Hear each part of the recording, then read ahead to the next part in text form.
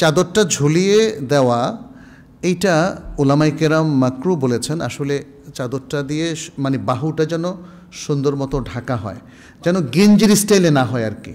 হ্যাঁ আপনি যে ঝুলিয়ে দিয়েছেন সেই জন্য আর কি। আপনি আপনি বুঝছি, আপনি এটাকে যদি এই যে ঝুলিয়ে না দিয়ে এটাকে যদি পুরোটা পরেন তাহলে আর কোনো সমস্যা থাকবে না ইনশাল্লাহ